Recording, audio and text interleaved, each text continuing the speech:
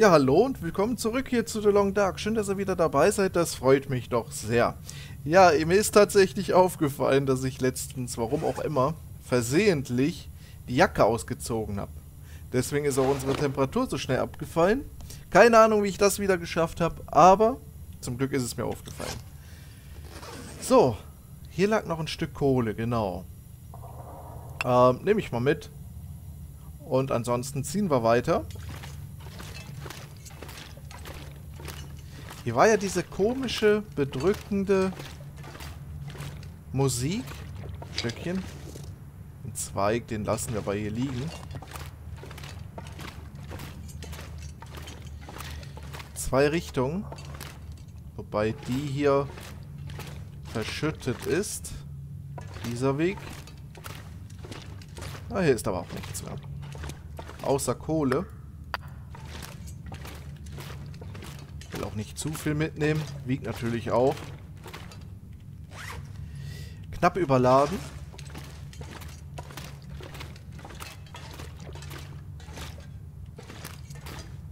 Ein Kaninchenkadaver. Could end up being useful.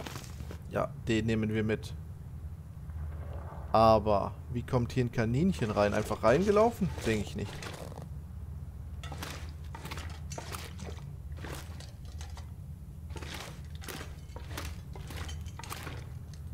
Zedernholz nehme ich auch natürlich. Ja. Dann lassen wir das jetzt auch mit den Brennmaterialien mal sein. Haben wir genug dabei, denke ich.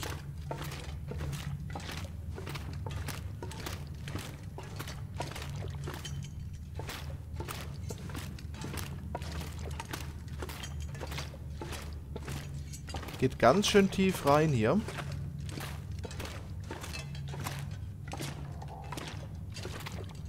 Hinten vielleicht wieder raus?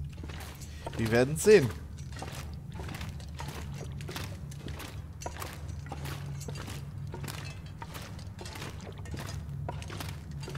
Nein, keine Stöckchen mehr mitnehmen. Ich hab's euch ja versprochen. Kohle lassen wir jetzt auch mal liegen. Wie gesagt.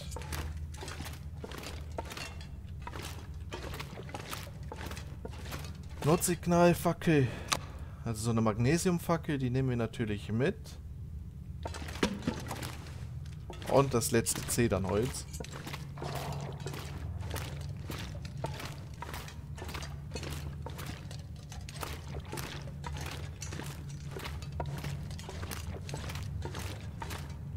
Ah, da hinten geht's raus. Hier brauchen wir auch unsere Lampe nicht mehr. Ist alles gut zu erkennen.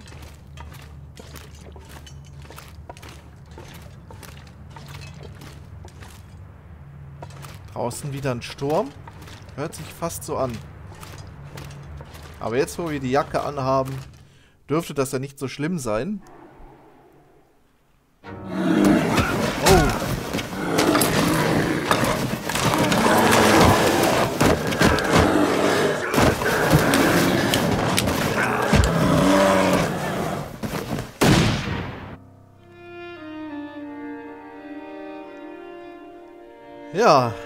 Glaube, das war die erste Episode, ne?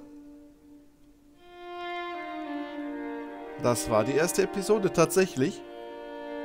Ein Bär und noch jemand. Ich glaube, es war nicht mit Husela. So, das brauchen wir nicht. Mal kurz überspringen.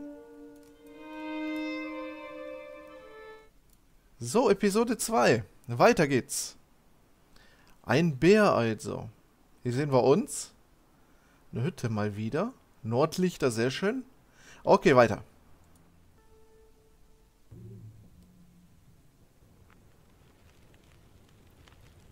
Und da finden wir uns wieder. Irgendwo in einer Hütte, denke ich mal. Vielleicht die, die wir gesehen haben.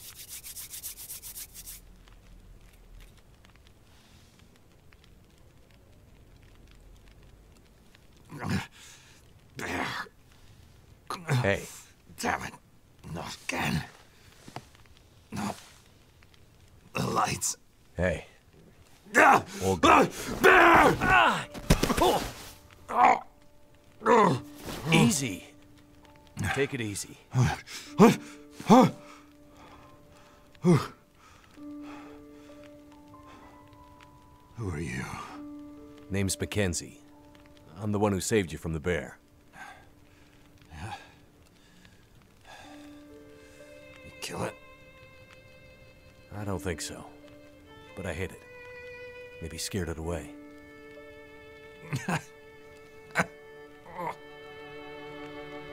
Not the way you shoot. Glad your memory's coming back. Shit. He caught me good this time. This time? Hmm. Me and the old bear go back a ways. There's. There's unfinished business between us. I bandaged you up, but you're in bad shape. Is there anywhere to get medical help? What? You mean like a hospital? Out here? Nah. Nothing like that. I see you have a radio. Can we call for help? No. Radio's been dead for the past few days. I can't raise any of the usual channels. I'm not sure why. Well, you'll need some stronger meds to avoid infection. And for the pain. Und da kommen wir wieder ins Spiel. Some kind of doctor. No. But I've been around doctors enough to know you'll be in trouble soon. Unless you get some better help than I can give you. Yeah. Right. Well. Closest help is probably in Milton. Back the way you came. Uh, There's nobody left to help you there. Town's pretty much deserted. There was a fire, and uh, Damn. The next town's days away. I'm wrecked. But if you leave now, you might be able to. you won't last days like this. Must be another way. There's. There's someone who might help. But we can only reach them by radio. So, we're back to where we started. There's got to be somewhere nearby that might have medical supplies, or another radio we can use. You might find some comms gear. Or parts. In the old Carter Dam. It's probably ancient stuff, though. That place has been abandoned for years. We used to have a first aid room. Might still be some old meds there, too. Oh, something strong enough to maybe numb this pain. Hang in there. I'll be back as soon as I can. Wait. Wait. The old bear. He's still out there. He'll be wanting to finish the job. Okay. Here. Take my rifle. Ja, aber sehr You won't kill him, but you might scare him off again. Right. Das nehmen wir gerne mit. Watch out. The dam. Unstable. Wait, what? What do you mean unstable?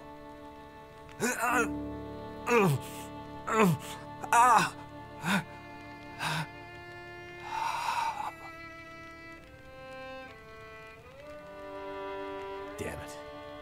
He's passed out.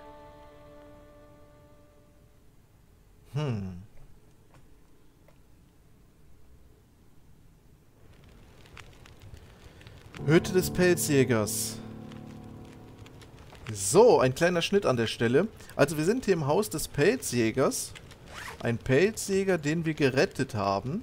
Der verletzte Pelzjäger. Mackenzie rettet einen alten Pelzjäger, dessen Wissen über großer Bär und Kurzwellensender ihn bei der Suche nach Astrid voranbringen können. Ja, wir sollen hier den verlassenen Staudamm betreten. Wir gucken uns das gleich mal auf der Karte an. Und hier haben wir eine neue Nebenaufgabe. Kaninchen mit Schlinge fangen. Platziere eine Schlinge und fange mindestens ein Kaninchen. Ja. Das ist also die neue Karte hier. Das ist unsere Hauptaufgabe mit dem Staudamm hier oben. Und wir sehen, wir haben eine komplette neue Karte hier. Ein Aussichtsturm. Lagerbüro. Hier sind auch noch verschiedene andere Orte, die wir nicht eingezeichnet haben, die wir erstmal entdecken müssen. Haus des Pelzjägers. Okay. Gut.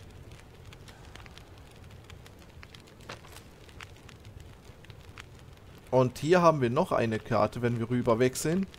Die heißt Trostloses Marschland. Und ich kann mich damals erinnern, dass dieses Gebiet wirklich sehr trostlos war. Beschädigte Bahnstrecke, nochmal eine neue Map. Und wir sehen, es ist sehr groß hier alles. Das heißt, diese Episode erstreckt sich über drei Karten. Und ja, wir nehmen auf jeden Fall dieses Jagdgewehr mit. Hat uns ja auch vorgeschlagen. Eine alte Jagdrepetierbüchse.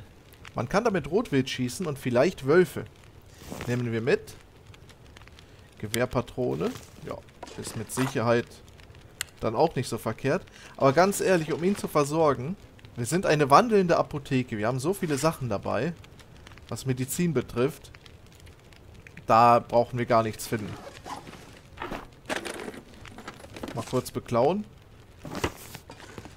Und hier an der Werkbank können wir auch die Schlingen herstellen. Dazu brauchen wir getrockneten Darm, Altholz und natürlich hier diese Werkbank.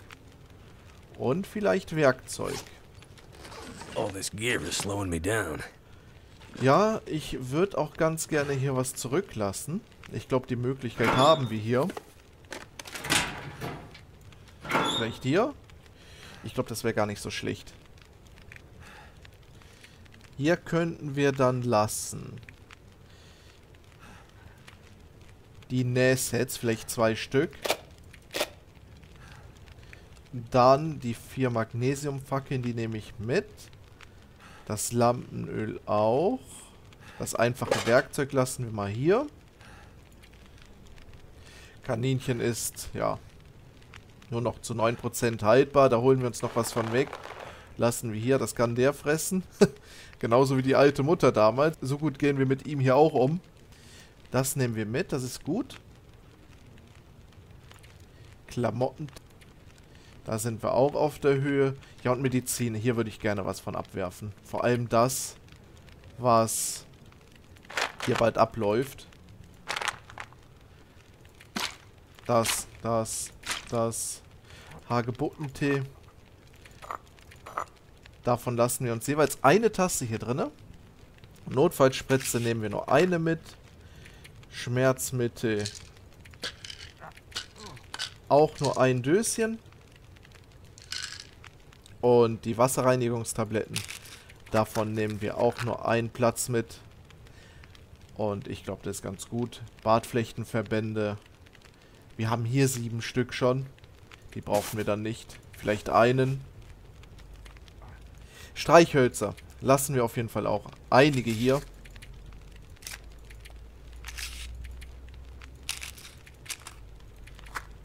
So. Sodass wir vielleicht hier die zwei mitnehmen. 48 Stück. Das müsste reichen. Kohle lassen wir auch hier zweimal. Das können wir ja essen, ne? Ja. Oder als Zunder benutzen, ne? Das zum Zunder benutzen und von dem anderen Stück vom Rohrkolben, das können wir essen. Hier das, ne? Genau, Rohrkolbenstängel können wir essen. Und das andere können wir verheizen. Tee. Lasse ich auch mal hier. So. Sonst noch irgendwas, was wir hier lassen können. Stöckchen. Lassen wir mal die Hälfte hier. Zeitungspapier. Ja, C dann auch mal die Hälfte. Ja, 31,94 Kilo. Gerade können wir nur 30 Kilo tragen. Den Topf, den wir vergessen haben, nehmen wir natürlich mit. Und noch eine Dose. Der hat auch hier eine Fackel stehen, ne? Also noch eine Laterne, meine ich. 92%. Unsere hat 100. Sonst haben wir hier aber nichts mehr. Vielleicht hier noch ein paar Bücher. Noch was zu essen. Brauchen wir aber gerade nicht wirklich. Lassen wir hier. Da ist doch noch was drin, ne? Ein Schokoriegel lassen wir auch erstmal hier.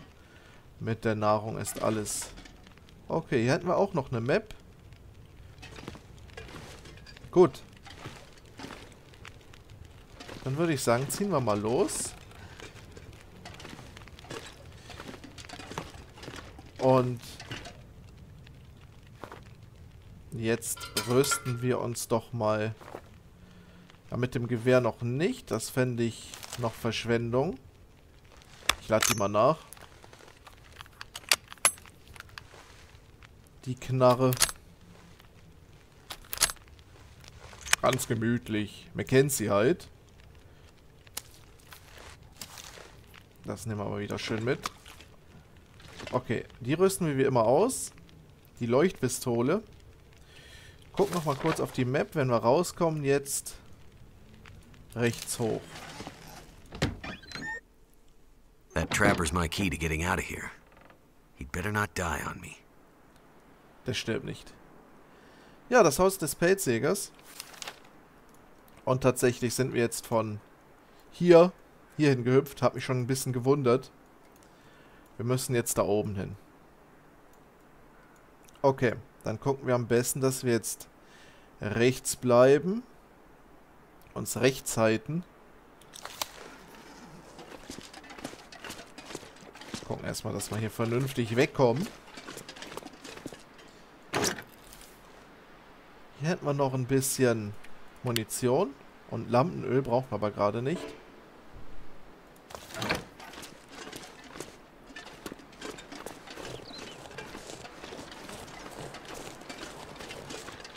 So, jetzt dürfte es auf der Karte auch wieder deutlicher zu erkennen sein. Genau. Hier jetzt geradeaus. Und dann auf der Bahnstrecke links abbiegen.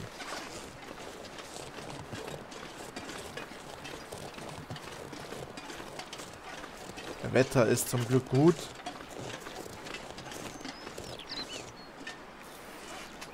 ...33 Kilo von 30.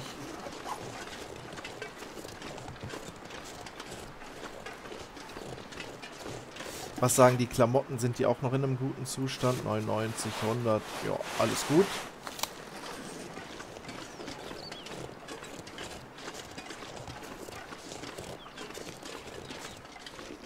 Tannenholz.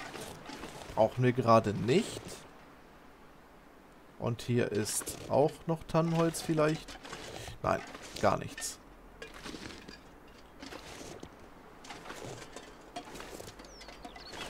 So, weiter geht's. Wird ein bisschen neblig.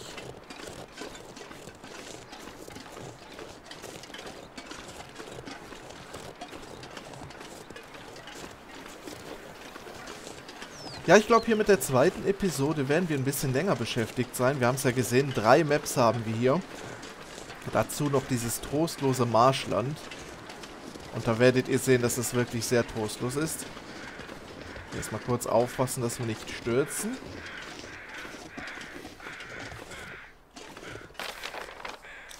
Ja. Vielleicht dort hinten lang. Müssen wir zwar eine kurze Steigung gehen, aber ich denke, das ist besser als hier rum.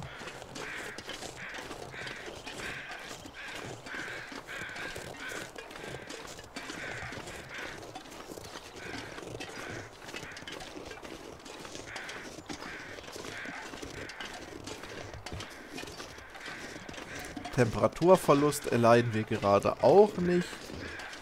Hunger geht natürlich ein bisschen mehr runter, weil wir überladen sind. Und auch die Erschöpfung.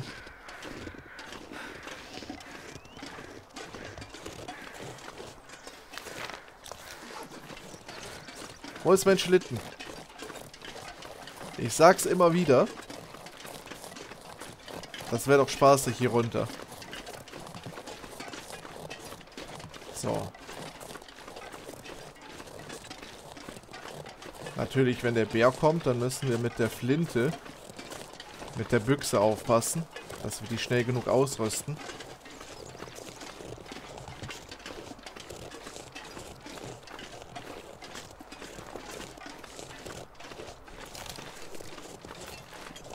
Okay. Mal kurz getestet.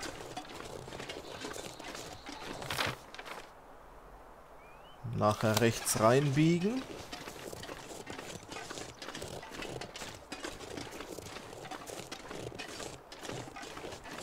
Da hinten ist eine Hütte. Da gucken wir doch mal kurz nach.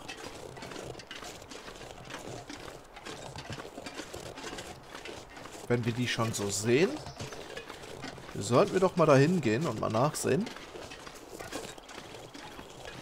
Totes Holz.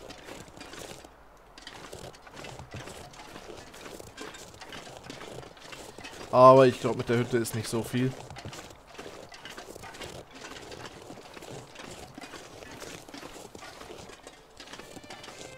Noch ein Topf. Noch eine Dose. Wir könnten mal gucken. 82er Dose, 88er Dose. Was hat die? I think I can use this. 84. Da könnten wir die wegwerfen, ne? So, die nehmen wir dafür mit. Der Topf hat 79. Und der 81, da ist der hier natürlich besser. Zedernholz. Nehmen wir gerade nicht mit. Hier liegt auch nichts mehr. Okay, weiter geht's. Ich dachte kurz, dass dort hinten ein Wolf stände. Gut.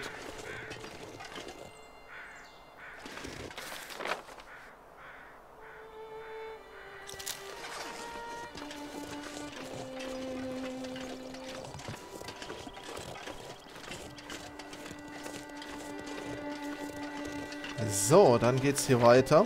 Einfach geradeaus. Und ich glaube, ich habe gerade einen Wolf gehört. Da muss man ein bisschen vorsichtiger sein.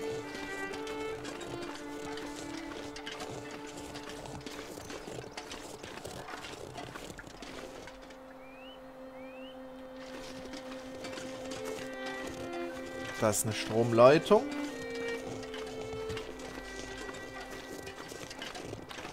Schon ein gutes Zeichen.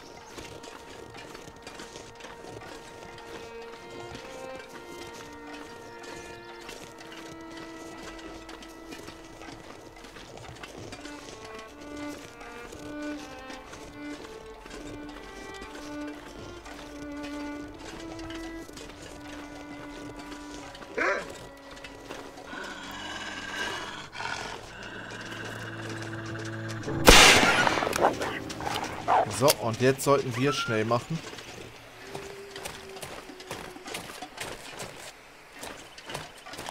Solange er verschreckt bleibt. Natürlich wieder nachladen.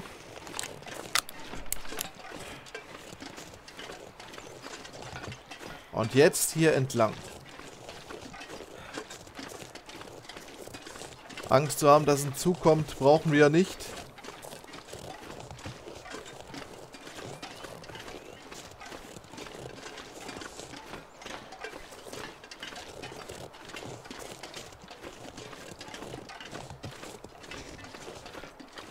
Haben wir dort hinten?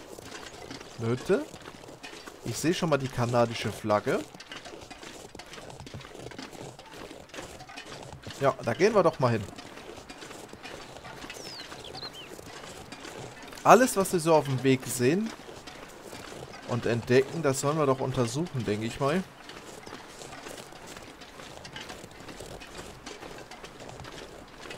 Was haben wir denn hier?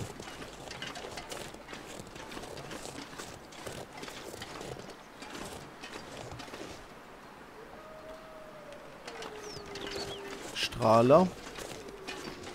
Ne, guck mal eben.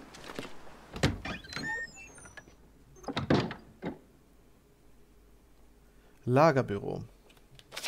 Ah, wir sind hier. Alles klar. Sieht gemütlich aus. Stoff, Holz, Schrott. Hope nobody needs this anymore. Eine Schnur vielleicht für unser Nebenzielchen. Ich fange am besten mal vorne an. Der gefrorene Angler. Ein Lehrbuch über das Eisfischen. Daraus könnte man was lernen, ne? Fang einen Fisch an einem Angelloch. Finden in Eisfischerhütten. Okay. Gewehrpatrone. Fließfäustlinge. Gucken wir doch mal kurz. sind schlechter. Ist jetzt nicht so groß der Unterschied von der Haltbarkeit her. Deswegen legen wir die mal ab. Papier. Eine Kühlbox. Ich glaube, die brauchen wir hier am wenigsten, eine Kühlbox. Zu trinken ist natürlich immer gut. Essen und Trinken nehmen wir mit.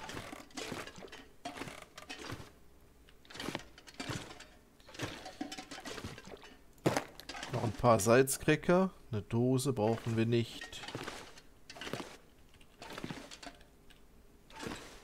Hier ist nichts mehr, das können wir höchstens zerlegen für Altholz.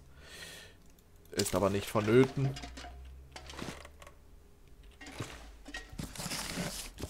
Ein Buch. Gewehrmunition. Stuff will come in handy. Sehr nützlich. Papierchen lassen wir hier. Hier dürfte ja auch, glaube ich, wieder nur Papier drin sein. Vielleicht noch für unsere Leuchtpistole. Munition hatten wir ja zuletzt auch. Trockenfleisch. Sehr schön. ist natürlich noch besser. Schlüssel zur Seehütte 3. Ein Schlüssel zur Hütte am Rätselsee. Nehmen wir mit. Werden wir blöd, wenn nicht. Holzbrikett. I could use this. Wiegt aber auch 2 Kilo. Hier noch ein Beil. 86 Prozent. Ja, dann tauschen wir das doch mal aus. So. Immer das Bessere mitnehmen. Could Wasserreinigungstabletten. end up being useful. Schnur, Angelzeug, Haken. Ja. Damit hätten wir schon mal ein paar Angelsachen zusammen. Lampenöl. Ein Parkhinweis. Wir lesen.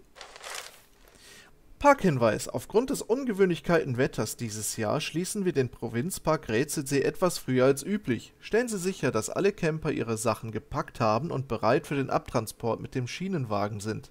Wer nicht mitfährt, muss zu Fuß aufbrechen. Nicht gerade angenehm. Ja, das blüht uns ja hier. Viele Fußwege. Schließen Sie wie gewohnt alle Seehütten ab und stellen Sie sicher, dass alle Vorräte in bärensicheren Behältern verstaut sind.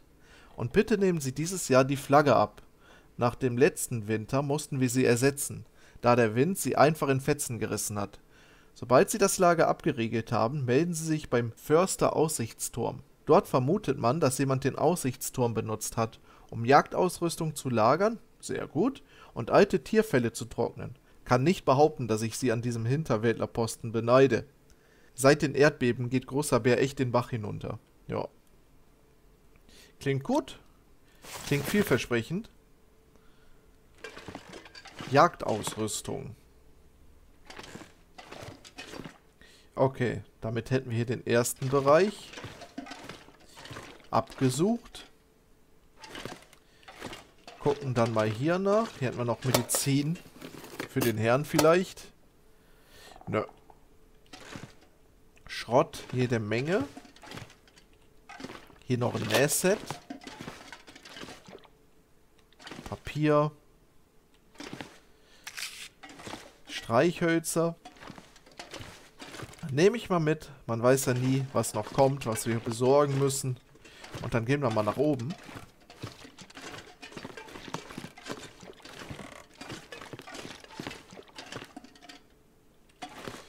Papier, Stoff. Ein paar Büchlein. Das können wir nicht nehmen. Okay. Nochmal hier reinschauen. Sonderbünde.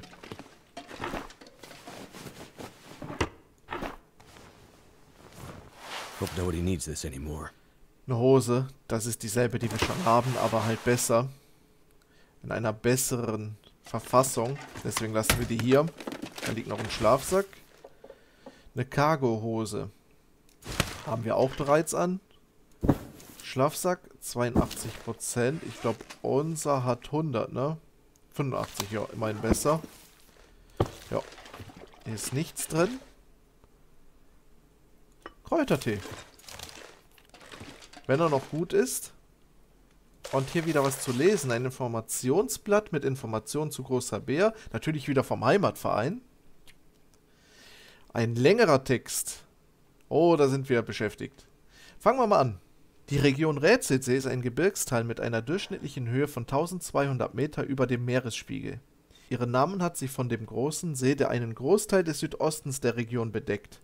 Im Westen und Süden ist sie von Bergen umgeben, im Norden und Osten von den Hügeln des Inselinneren.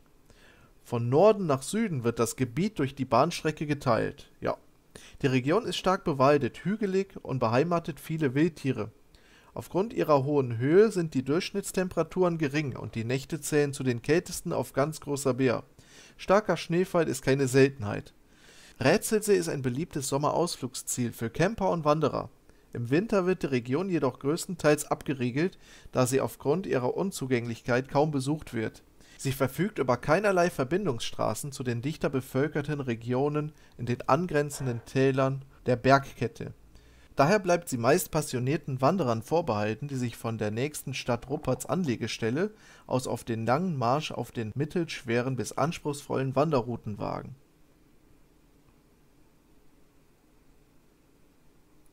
Die Unzugänglichkeit war im Laufe der Jahre zugleich Fluch und Segen für die Region.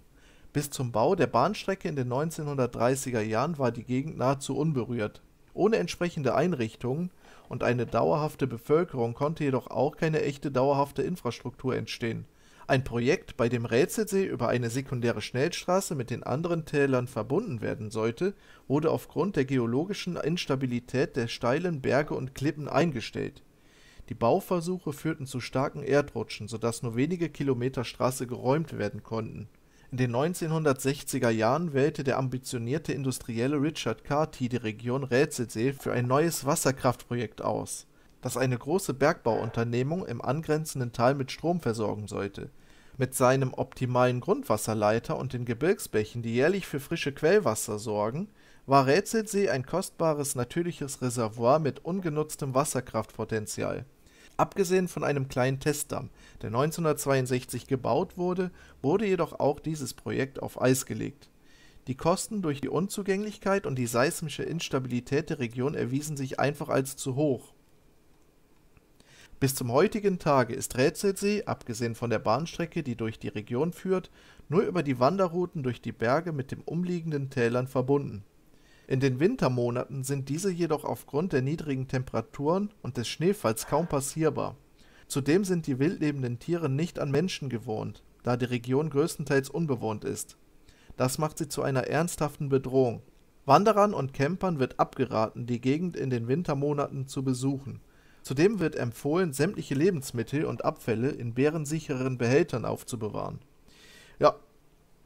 Okay. Nehmen wir wieder mit. Dürfte ja wie gesagt nichts wiegen. Hier sind auf jeden Fall auch Bettchen. Socken. Aber das sind wieder diese Sportsocken. Dann würde ich sagen, dass wir mal ein Schlückchen trinken. Hier sind noch Wanderstiefel. Aber so wie die aussehen, lassen wir die hier. Schönes Bildchen. Ja, ich würde sagen, wir trinken und essen mal.